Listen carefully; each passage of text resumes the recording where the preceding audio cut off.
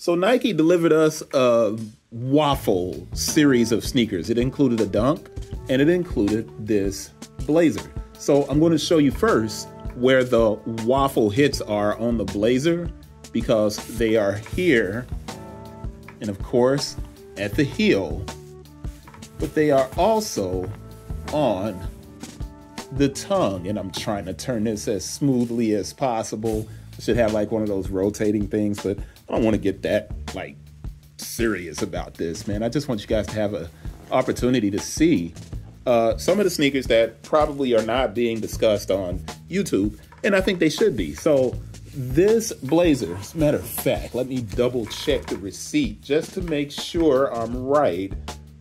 This blazer is 110, so your traditional blazer is 105 now. So it got the price bump up from $100. This is 110 but I'm going to give you the full name, which is the Blazer Mid 77 Vintage. The color is coconut, uh, coconut milk, wheat, sail, and black. The style code is FC404113. Unlike a lot of the blazers that I have, that I'm actually, I wear blazers often, the leather here is much softer. So it has more of a tumbled look to it. I'm going to move this up so you can see that.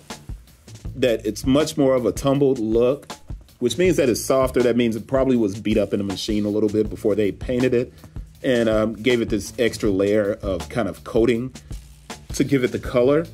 But I love this swoosh, which looks like a waffle. And like I said, the heel looks like a waffle and an embroidered Nike at the heel. And then the tongue has that nice little waffle check. But you know what? I'm overlooking one aspect, and that is the tongue itself, which is made out of what feels like a quilted kind of mesh. Man, it's actually really nice. I'm moving this down because on the inside of the shoe, and I hope it's visible because it's so dark right here. The inside of the shoe, it's got one Bowerman Drive, Beaverton, Oregon on the inside of the shoe.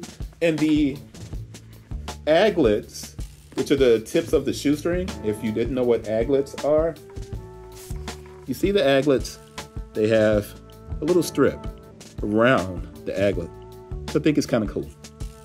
But those are kind of like your close-up features. Once again, I do want to touch the material so you can see how soft that is. Which means it's going to have a smaller break-in period, right? You got the gum bottom but you got this nice suede bumper here, the side and up the eyelets. It's a really, really nice shoe for Nike at 110. It doesn't come in at that under 100 price point, but the color of it, just go down so you can get a nice look at it. I'm probably gonna have to brighten this video up because it's so dark here in the office. And I usually film out in the front of the studio, but I just wanted to make sure I got this in so you could see it. And I think it's one of my favorite blazers. And the blazer's kind of fallen out of fashion and suede up the back also. Falling out of fashion a bit. They aren't selling like crazy like they were kind of in the last year, but it's still a fantastic model to pick up at a great price. I'll see you guys on the next one. That's the Blazer Waffle.